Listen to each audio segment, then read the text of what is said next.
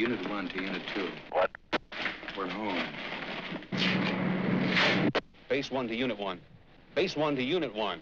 Hold it, you mother! Hold it! Police! There's been a break-in at Democratic headquarters. and They were bugging the place. Woodward, Bernstein, you're both on the story now. Don't get up. Redford. I'm Bob Woodward of the Washington Post. Mr. Markham, are you here in connection with the Watergate burglary? I'm not here. Hoffman. Hi, uh, this is Carl Bernstein of the Washington Post, and I was just wondering if you can remember... All the President's Men. The story of the two young reporters who cracked the Watergate conspiracy. White House. Howard Hunt, please. He might be in Mr. Colson's office. Who's Charles Colson? Did you know, uh, Howard Hunt? Well, the White House said he was doing some investigative work. What do you say? They stumbled into leads. Certainly it comes as no surprise to you that Howard was with the CIA. No, no surprise at all. They tripped over clues. We'd like to see all the material requested by the White House.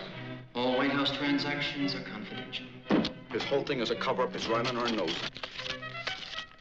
And piece by piece, they solve the greatest detective story in American history. There is no way the White House can control the investigation. I, I don't want to say any more, okay? Have you been threatened if you tell the truth? Is there a cover-up? Don't you understand what you're on to? Mitchell knew?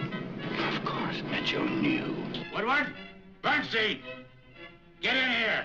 At times, it looked as if it might cost them their jobs. You guys are about to write a story that says the former Attorney General, the highest-ranking law enforcement officer in this country, is a crook.